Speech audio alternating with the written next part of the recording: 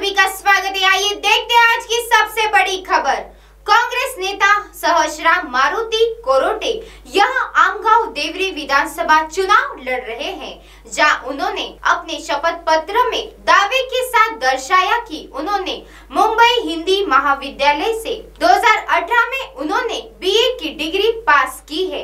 जैसा कि देवरी उपविभागीय अधिकारियों, उनके पास तो चुनाव घोषणा पत्र, कोरोटे इन्होंने किया है। उसमें साफ़ तौर पर दिख रहा है कि यह मुंबई के दर्शाए गए पर वास्तविकता में मौजूद नहीं है।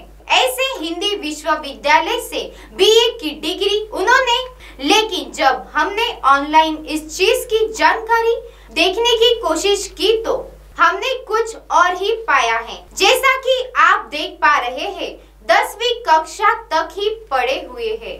यानी कि उन्होंने सीधे तौर पर सरकार और उन्हें चुनकर देने वाले जनता के साथ धोखाधड़ी की है।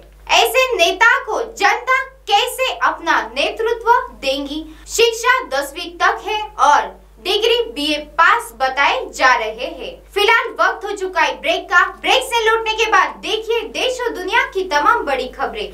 आप हमारे चैनल को ऐप पर भी देख सकते हैं। प्ले स्टोर में जाकर एमएनएस हिंदी लिखिए और ऐप डाउनलोड करें। साथ ही साथ आप हमारे फेसबुक पेज को भी लाइक कर सकते हैं और उन पर भी खबरें देख सकते हैं।